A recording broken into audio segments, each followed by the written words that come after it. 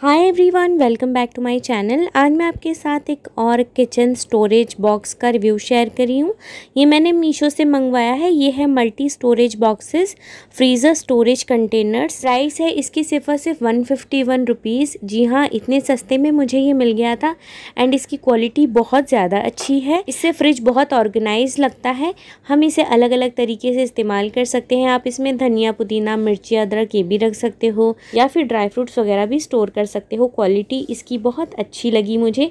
आप देख सकते हैं, एक बड़ा सा बॉक्स है और अंदर भी आपको छोटे छोटे जाली वाले बॉक्सेस दिए हुए हैं, जिससे एयर भी आती जाती रहती है।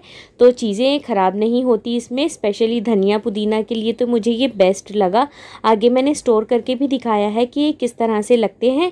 क्वालिटी इसकी बहुत ज़्यादा अच्छी है। आप चाहो इसे तो इसकी जो छोटी वाली जो बास्केट्स है, इसको अलग से भी यूज़ कर सकते हो और सिंगल बॉक्स को अलग से भी यूज़ कर सकते हो। तो ये मल्टी मल्टीपर्पज़ यूज़ के लिए आप इस्तेमाल कर सकते हो। मुझे ये काफ़ी ज़्यादा अच्छा लगा।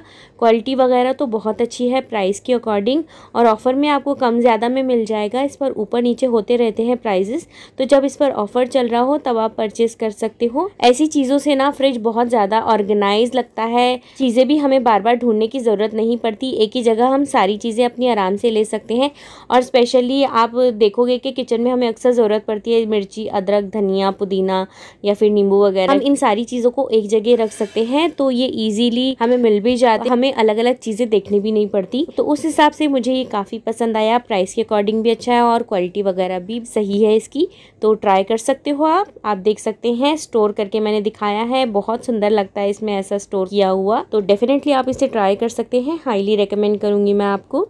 तो ये था मेरा आज का वीडियो आई होप आपको मेरा वीडियो पसंद आया हो. पसंद आया हो तो प्लीज़ लाइक एंड शेयर ज़रूर करें और चैनल को भी सब्सक्राइब करें. Thank you so much for watching